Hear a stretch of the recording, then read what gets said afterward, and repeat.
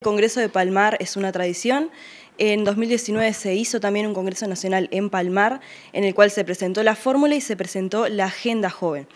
La Agenda Joven fue una gran propuesta porque hasta el año pasado ya se habían cumplido el 95% de las propuestas plasmadas en esta agenda de la mano de INJU, así que en esta campaña se decidió hacer lo mismo.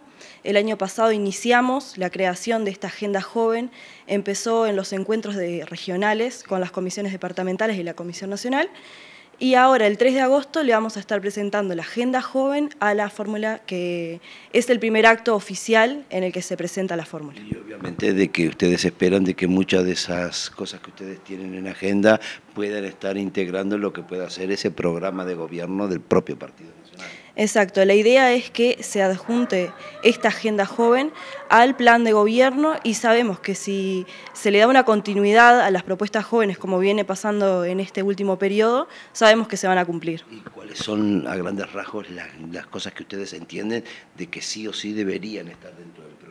Lo que se creó fueron ejes eh, programáticos, ejes temáticos, en los cuales hay distintas comisiones trabajando. Por ejemplo, yo estoy en la Comisión de, Salud y Deporte.